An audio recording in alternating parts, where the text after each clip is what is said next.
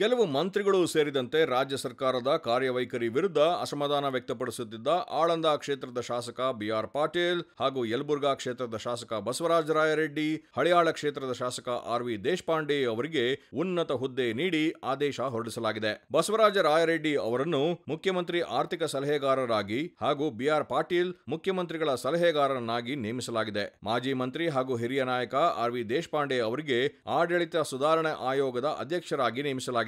ಈ ಮೂಲಕ ಸಿಎಂ ಅವರು R V Deshpande B R Patil ಮತ್ತು ರಾಯರೆಡ್ಡಿ ಮುನಿಸು ತಣ್ಣಗೆ ಮಾಡುವ ಪ್ರಯತ್ನ ಮಾಡಿದ್ದಾರೆ. ಈ ಕುರಿತು ಆದೇಶ ಹೊರಡಿಸಿರುವ ಸರ್ಕಾರ ತಕ್ಷಣದಿಂದ ಜಾರಿಗೆ ಬರುವಂತೆ ಸಂಪುಟ ದರ್ಜೆ ಸ್ಥಾನಮಾನ ನೀಡಿ ನೇಮಕ ಮಾಡಿದೆ. ಈ ಮೂವರು ಮುಖ್ಯಮಂತ್ರಿ ಸಿದ್ದರಾಮಯ್ಯ ಅವರ ಆಪ್ತರು ಹಾಗೂ ಕಾಂಗ್ರೆಸ್ ಪಕ್ಷದ ಹಿರಿಯ ಶಾಸಕರು ಆಗಿದ್ದರಿಂದ ಅವರು ಪಕ್ಷ ಅಧಿಕಾರಕ್ಕೆ ಬಂದ ಬಳಿಕ ಪ್ರಮುಖ ಖಾತೆಯ ಸಚಿವ ಸ್ಥಾನಮಾನ ಸಿಗುತ್ತದೆ ಎನ್ನುವ ನಿರೀಕ್ಷೆ ಇಟ್ಟುಕೊಂಡಿದ್ದರು. ಆದರೆ ಇವರಿಗೆ ಯಾವುದೇ ಸ್ಥಾನ ನೀಡಿರಲಿಲ್ಲ. ಇದರಿಂದ ಅಸಮಾಧಾನಗೊಂಡಿದ್ದ ಅವರು ಮೇಲಿಂದ ಮೇಲೆ ಸರ್ಕಾರಕ್ಕೆ ಪತ್ರ ಬರೆಯುತ್ತಲೇ ತಮ್ಮ ಕ್ಷೇತ್ರದ ಸಮಸ್ಯೆಗಳಿಗೆ ಅಧಿಕಾರಿಗಳು ಹಾಗೂ ಸಚಿವರು ಸ್ಪಂದಿಸುತ್ತಿಲ್ಲ ಎಂದು ಬೇಸರ ವ್ಯಕ್ತಪಡಿಸಿದ್ದರು.